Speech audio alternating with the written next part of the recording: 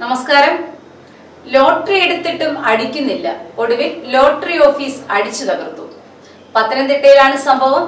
നിരവധി തവണ ലോട്ടറി എടുത്തിട്ടും ലോട്ടറി അടിക്കാത്തതിൽ പ്രതിഷേധിച്ച് പത്തനംതിട്ട മിനി സിവിൽ സ്റ്റേഷൻ കോമ്പൗണ്ടിൽ പ്രവർത്തിക്കുന്ന ജില്ലാ ലോട്ടറി ഓഫീസിൽ അതിക്രമിച്ച് കയറി ബഹളമുണ്ടാക്കുകയും അവിടുത്തെ കമ്പ്യൂട്ടറും മറ്റും അടിച്ചു തകർക്കുകയും ചെയ്തു. നാരങ്ങാനം കൃഷ്ണവിലാസം വീട്ടിൽ വിനോദാണ് ലോട്ടറി ഓഫീസിലെത്തി ബഹളമുണ്ടാക്കിയത്. വിനോദാകട്ടെ ഒരു ലോട്ടറി ഏജന്റ് കൂടിയാണ്. മദ്യപിച്ചിരുന്ന ഇയാൾ കമ്പ്യൂട്ടറും പ്രിന്ററും നശിപ്പിച്ചതോടെ പോലീസിന് വിവരമറിയിക്കുകയും ജില്ലാ ലോട്ടറി ഓഫീസർ എൻ ആർ ജിജിയുടെ മൊഴിപ്രകാരം പോലീസ് എത്തി പ്രതിയെ അറസ്റ്റ് ചെയ്യുകയും ചെയ്തു. ലോട്ടറികൾ ഒന്നും തന്നെ അടിക്കുന്നില്ലെന്നും സമ്മാനങ്ങൾ കുറവാണെന്നും ആയതിനാൽ ലോട്ടറി ഓഫീസ് കത്തിക്കുമെന്നും പറഞ്ഞുകൊണ്ടായിരുന്നു ആക്രമണം. നാൽപ്പതിനായിരം രൂപയുടെ നഷ്ടം വരുത്തിയതായി ജില്ലാ ലോട്ടറി ഓഫീസർ പറയുന്നു. പോലീസ് ഉദ്യോഗസ്ഥരും ജീവനക്കാരും ചേർന്നാണ് വിനോദിനെ കീഴ്പ്പെടുത്തിയത്. പൊതുമുതൽ നശിപ്പിച്ചതിനും ഔദ്യോഗിക കൃത്യനിർവഹണം തടസ്സപ്പെടുത്തിയതിനുമാണ് കേസ്. പ്രതിയെ കോടതിയിൽ ഹാജരാക്കി റിമാൻഡ് ചെയ്തു.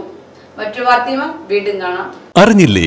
അലങ്കാറിലാണിപ്പോൾ യഥാർത്ഥ ചന്ത. അലങ്കാർ ബുധനാഴ്ച ചന്ത. പച്ചക്കറികൾ തോട്ടങ്ങളിൽ നിന്നും നേരിട്ടെത്തിക്കുന്നു. ഫ്രഷ് ഐറ്റം ഒപ്പം വിലക്കുറവും. എല്ലാത്തരം പഴവർഗങ്ങൾ പച്ചക്കറികൾ അരി വെളിച്ചെണ്ണ തുടങ്ങി നിത്യോപയോഗ സാധനങ്ങൾക്ക് അൻപത് ശതമാനത്തിലും കൂടുതൽ വിലക്കുറവ്. അലങ്കാർ ബുധനാഴ്ച ചന്തയിലെത്താൻ മറക്കരുത്. അലങ്കാറിലെത്തിയാൽ എന്തും വാങ്ങാം. വൻ വിലക്കുറവിൽ Alankar hyper market super market Pathanamthitta Konni Changanassery.